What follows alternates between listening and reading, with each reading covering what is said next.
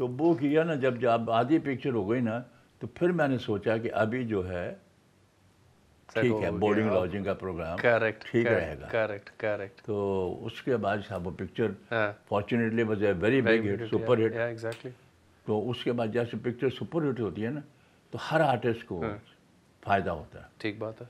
और अपना जो कैरेक्टर था नेगेटिव शेड्स उसमें बहुत ही रिएक्शन बहुत ही पॉजिटिव रहा। From critics from. Actors from producers तो then there there was a line of producers फिर तो एग्जैक्टली आपके पास तो मतलब अच्छा एक और चीज़ बताओ उस टाइम पे वैसे मैनेजर्स होते थे? जैसे आज के टाइम पे एक फिक्स्ड एक, एक Yes, yes. प्रोसेस है उस टाइम पे भी the agents the their secretaries. man- अच्छा to be, I had one or two of them but then you see uh, this is not like a Hollywood. Correct Hollywood में जो होते हैं ना सेक्रेटरी वगैरह जो होते हैं जो जो जिनका एजेंट्स होते हैं correct they know about the script they know about everything correct यहाँ सेक्रेटरी को बस ये लेके पोस्टमैन अच्छा। कि यार तुम जाओ उधर बात कर लो हाँ। और पैसे वैसे की बात कर लो अच्छा अच्छा। तो वो कैसे पैसे की बात करते थे जहाँ उसको फ़ायदा हो? हाँ।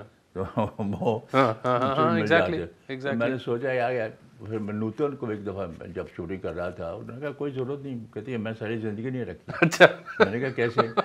कहते हो बस एक डायरी होती हाँ। डायरी में डेट्स लिख लो। हाँ। आप कुछ प्रोड्यूसर हैं तो ये डेट्स हैं और ये पैसे हैं। हाँ हाँ हाँ। और आप देते जाइए और हम काम करेंगे। अरे वाह। तो मैंने कहा यह तो अच्छा है बेटा यार हाँ, फिर मैंने भी ऐसे शुरू की अरे वाह। And then I had no secretary I never kept a secretary अच्छा okay wonderful I had a staff who was used to sit near the phone too otherwise and all that नहीं मतलब आज के टाइम में तो कैसा एक एक फिक्स्ड एक प्रोसेस है you know to It's a process. Exactly it's exactly process definitely process but उस टाइम पे फिर पर्सनल रिलेशन भी बिल्ड हो जाता होगा बिकॉज़ वो फिर सब डायरेक्ट आपसे बात भी करते थे। बिल्कुल बिल्कुल सही बात है। बिल्कुल पर्सनल रिलेशन हो जाते थे मनोज कुमार के Exactly. और फिर उसके साथ क्रांति पूरा पश्चिम हाँ।